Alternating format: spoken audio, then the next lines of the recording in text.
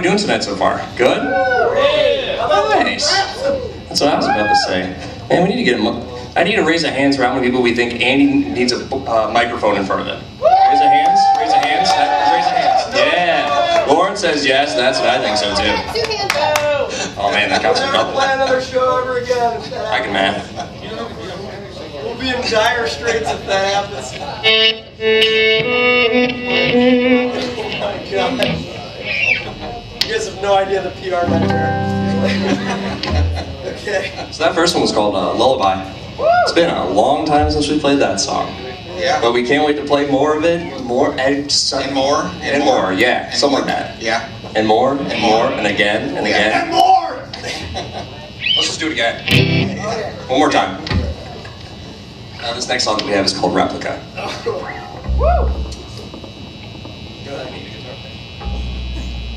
You, I was just gonna say you do this one and I do the count.